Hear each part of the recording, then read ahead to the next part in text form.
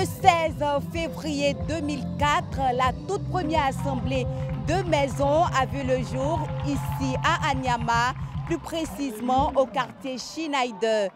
En 2024, l'église de la zone spirituelle d'Anyama, dirigée par l'ancien Kwasi Jules François, compte 836 membres qui adorent dans 35 églises de maison.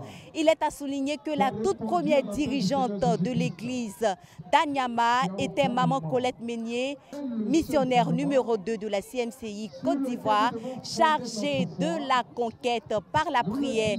Nous te bénissons, Maman. Merci d'avoir été une pionnière, une guerrière pour cette œuvre qui ne fait que se fructifier.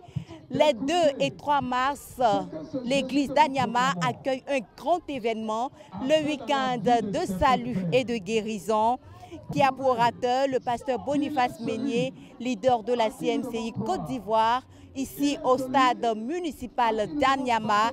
Et pour thème le solide fondement. Pour aujourd'hui, samedi 2 mars 2024, comme vous pouvez le voir juste derrière moi, les festivités ont déjà commencé, les semeurs sont à leur poste, les intercesseurs également, la littérature est déjà en place, les frères sont présents, les invités également. Nous bénissons le Seigneur pour cette organisation dans l'église d'Anyama.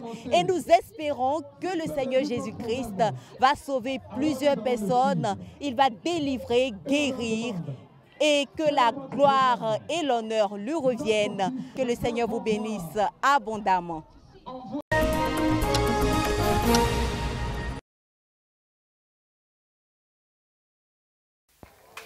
La première journée du week-end de salut et de guérison à Ayaman, qui s'est tenue ce samedi 2 mars au stade municipal de la commune, a enregistré le salut de 269 âmes qui ont décidé de se donner à Jésus après la prédication de l'orateur principal, le pasteur Boniface Meunier, qui a développé le thème Le solide fondement.